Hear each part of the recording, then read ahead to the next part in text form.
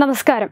പുൽവാമ സ്ഫോടനത്തിൽ പാകിസ്ഥാൻ എന്ത് പങ്കെന്ന നിലവിലെ പത്തനംതിട്ട എം പിയും കോൺഗ്രസ് സ്ഥാനാർത്ഥിയുമായ ആന്റോ ആന്റണി ചോദിച്ചത് ആരെ പ്രീണിപ്പിക്കാനാണെന്ന് ചോദിച്ചാൽ ഉത്തരം ഇതാണെന്ന് പറയേണ്ടി വരും. ഈരാറ്റുപേട്ട പത്തനംതിട്ട ലോക്സഭാ മണ്ഡലത്തിലാണ് എന്നത്. പ്രീണനം നടത്തിയാൽ ഈരാറ്റുപേട്ടയിൽ നിന്ന് ബൾക്കായി വോട്ട് കിട്ടും. ഇനിയിപ്പോൾ ഹമാസ് സ്തുതികൾ വീണ്ടും ആവർത്തിച്ചാലും അത്ഭുതമില്ല. ഇപ്പോൾ പാകിസ്ഥാൻ ബംഗ്ലാദേശ് അഫ്ഗാനിസ്ഥാൻ എന്നീ മുസ്ലിം രാജ്യങ്ങളിൽ നിന്നുള്ള മുസ്ലിങ്ങൾക്ക് ഇന്ത്യ പൗരത്വം കൊടുക്കാത്തതിന്റെ പേരിൽ കേരളത്തിലെ ഒരു വിഭാഗം മുസ്ലിങ്ങളും കോൺഗ്രസും കമ്മ്യൂണിസ്റ്റും സി എ വിരുദ്ധ സമരം എന്ന ലേബലിൽ തെരുവിൽ കലാപവുമായി നടക്കുകയാണ്.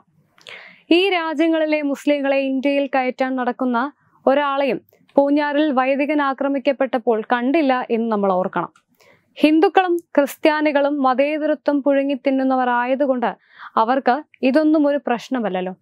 അതുകൊണ്ട് എത്ര പ്രീണനം നടത്തിയാലും ഏത് തീവ്രവാദികളെ പിന്തുണച്ചാലും ഇന്ത്യയെ ഒരു ഗാസയാക്കി മാറ്റിയാലും അവർ പ്രതികരിക്കുകയില്ല. അപ്പോൾ പിന്നെ പത്തനംതിട്ടയിൽ ആര് വിജയിക്കും എന്ന് ഇനി പറയേണ്ടതില്ലല്ലോ. കർണാടകയിൽ രാജ്യസഭാ സ്ഥാനാർത്ഥി ജയിച്ചപ്പോൾ പാകിസ്ഥാൻ സിന്ദാബാദ് വിളിച്ചവർ ഇവിടെ പാകിസ്ഥാൻ ഔദ്യോഗിക വക്താക്കളെക്കാൾ വലിയ പാകിസ്ഥാൻ പ്രേമികളാകുന്നതിൽ അതിശയിക്കേണ്ട കാര്യമില്ല.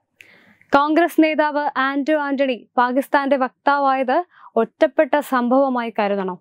അവസാനത്തേതുമാകില്ല.